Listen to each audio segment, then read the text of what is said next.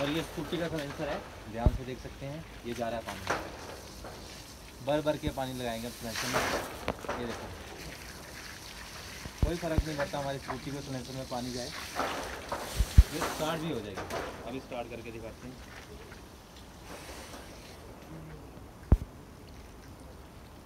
आप देखो।